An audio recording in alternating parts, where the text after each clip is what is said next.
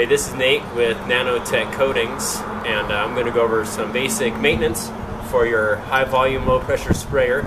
It's always good to clean out your sprayer after each use.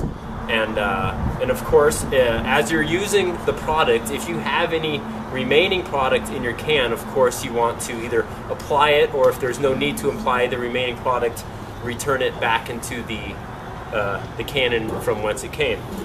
Um, now, what we use for our uh, to clean out our sprayers is acetone, which is what you you will use with any solvent-based product.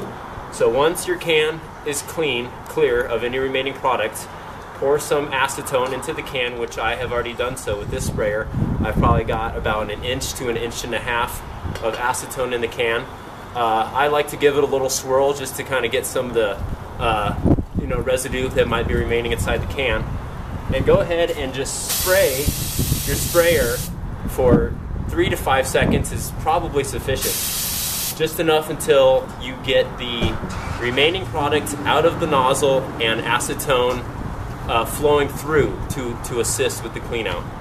Um, and that's really about it. Uh, it's a good idea to leave a small amount of acetone in in your gun, and that will uh, that will just prolong you know the the life uh, of your of your sprayer.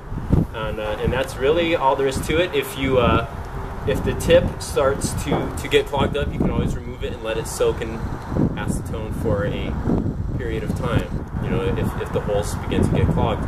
And uh, that's basic cleanup for your high volume, low pressure sprayer.